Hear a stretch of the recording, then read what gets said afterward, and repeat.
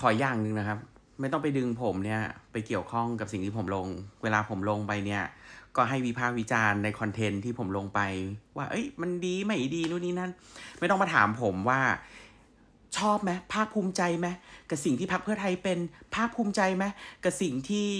มุ่งทำภาคภูมิใจไหมกับสิ่งที่คุณพิธาทำผมไม่ได้เกี่ยวอะไรกับคนพวกนั้นฮะ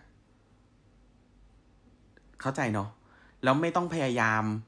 กองเชียร์ของทุกพักนะ ไม่ต้องพยายามผลักใครให้ไปอยู่ตรงไหนตรงนั้น ผมก็เป็นของผมอย่างนี้ ก็จะนำเสนอทุกพักอย่างเท่าเทียมกัน อันไหนเห็นด้วยก็ชื่นชม อันไหนไม่เห็นด้วยก็วิพากษ์วิจารณ์แบบตรงไปตรงมา ถ้ารู้สึกว่าชีวิตนี้ เราจะต้องผลักใครสักคนหนึ่งให้ไปอยู่ตรงนู้นตรงนี้ ผมว่ามันไม่เท่หรอก สุดท้ายแล้วอะคนเราเนี่ย มันก็มีจุดยืนของแต่ละคนที่ไม่เหมือนกัน แต่อย่าพยายามผลักใคร อย่าพยายามถีบใคร